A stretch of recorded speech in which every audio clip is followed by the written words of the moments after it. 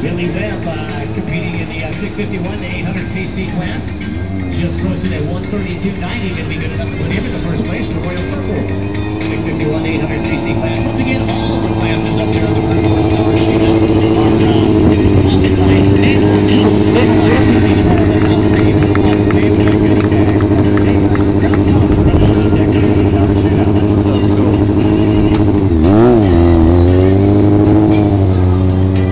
¡Bum,